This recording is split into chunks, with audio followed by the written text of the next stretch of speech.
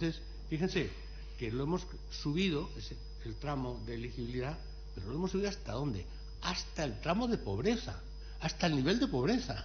O sea, la gran revolución ha consistido en que los que están por debajo del nivel de pobreza puedan tener becas, que antes no era así.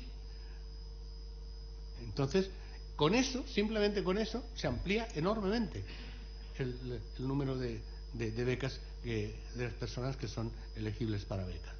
Eh, y después eh, hemos aumentado, no nos hemos arruinado, la verdad, eh, pero hemos aumentado las becas de, 100 euros y hemos aumentado las becas de movilidad también de otros 100 euros. O sea que quien combina las dos becas, pues son 200 euros más al año. Insisto, fíjense qué cantidades ridículas, ¿verdad? Comparados con las subvenciones que les tenemos que dar a tal sector industrial o tal sector industrial. Eh, pero, sin embargo, hay estudiantes para quienes 200 euros hacen una diferencia, aunque parezca imposible.